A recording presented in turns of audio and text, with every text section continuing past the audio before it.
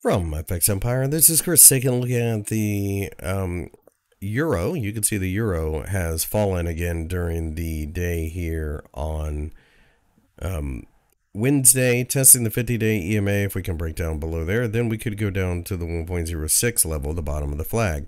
If we break down below there, then the 105 level is your target. 200 day EMA caused a massive amount of resistance and a shooting star. So it all kind of comes together quite nicely to confirm this flag. We'll have to wait and see uh, whether or not it actually breaks down, but I still prefer fading short term rallies that show signs of exhaustion.